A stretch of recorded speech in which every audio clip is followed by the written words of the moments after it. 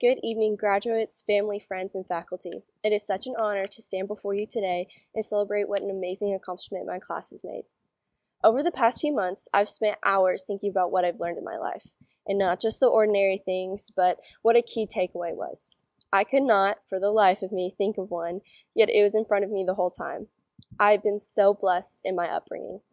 In my 18 years, I've watched my parents make sacrifice after sacrifice for my brothers and I. They've always put us first.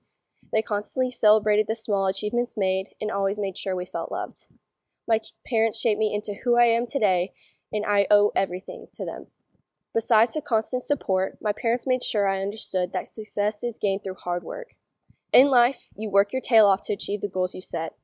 Along the way, there are going to be doubts, whether they come from you or other people, but instead of getting caught up in the spiral, pull yourself up, have a dance party, and get back on track.